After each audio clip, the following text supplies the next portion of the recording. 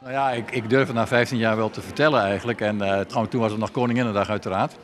Uh, ik werd de avond voor, uh, voor Koninginnedag werd ik gebeld door de hoogbeveiliging van, van het Koningshuis dat ze een probleem hadden.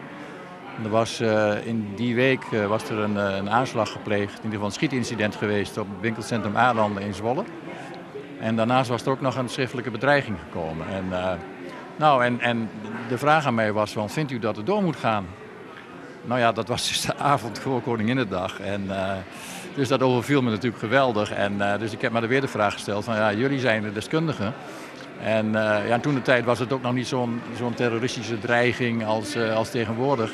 Van jullie moeten me inschatten wat het veiligheidsrisico is. En ja, dan, dan kan ik daar misschien een oordeel over geven.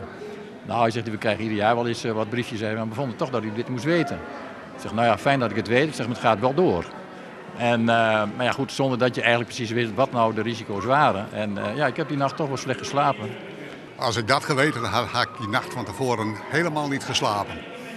En uh, omdat onze generale repetitie op de dag ervoor helemaal vlekkeloos verlopen was, had ik een goede nachtrust en kon ik fris met Koninginnedag beginnen.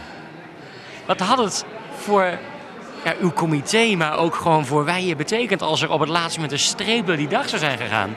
Nou, dat was een bittere teleurstelling voor alle deelnemers geweest. Want uh, er waren een, paar honderd uh, mensen actief geweest om allerlei activiteiten in elkaar te draaien en uit te voeren.